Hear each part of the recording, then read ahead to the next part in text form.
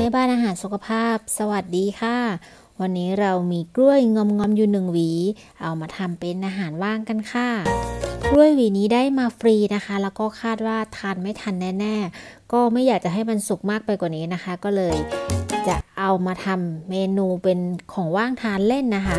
ก่อนอื่นให้เรานำไปล้างน้ำก่อนนะ เพราะว่ามันก็จะมีพวกเศษฝุ่นต่างๆนะคะ ถ้าเราไม่ล้างแล้วเอามาปอกเปลือก พวกฝุ่นมันอาจจะติดในเนื้อกล้วยได้นะคะ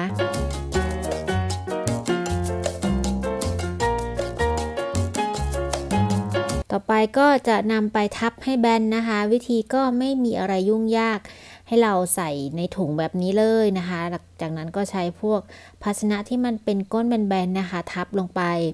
อย่าทำแบนมากจนเกินไปนะคะ เดี๋ยวมันจะขาดได้ก็เอาหนาประมาณสักเกือบเกือบครึ่งเซนประมาณนี้ค่ะพอทับให้แบนได้ที่แล้วก็นำไป ใส่ตะแกรงนะคะ แล้วก็นำเข้าเตาอบไฟบนล่าง 170 องศา เราใช้เวลาในการอบประมาณเกือบๆหนึ่งชั่วโมงนะคะ จริง ๆ คือลืมเฝ้าเตามันก็จะมีไม่ไหม้หน่อยนะคะ ตรงผิวด้านนอก แต่ด้านในยังทานได้อยู่นะ อันนี้คือคัดมาที่มันยังแบบใช้ได้อยู่นะคะ ทั้งลูกเนาะ